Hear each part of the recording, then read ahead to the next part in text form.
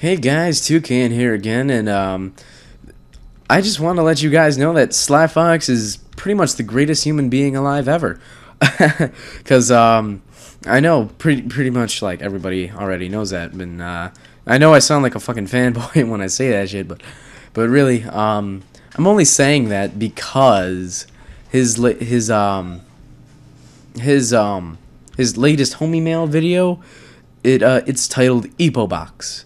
Now, um, in the comments of his homie mail episode two, he he um he was asking for people to name his uh his uh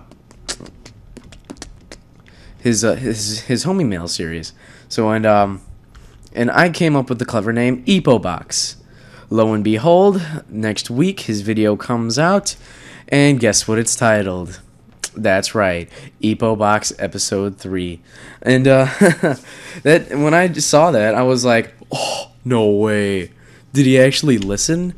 I was like, pretty sweet, bro, and um. It's Sly Fox. If you're watching this, I, I just want to let you know that I love you. I love you. Uh, you read my mail ho- in uh, homie mail episode two, and uh, you got my picture. And this is Toucan Boy eight eight eight telling you again to always keep your try hard hat on. And I will see you later. All right, bye.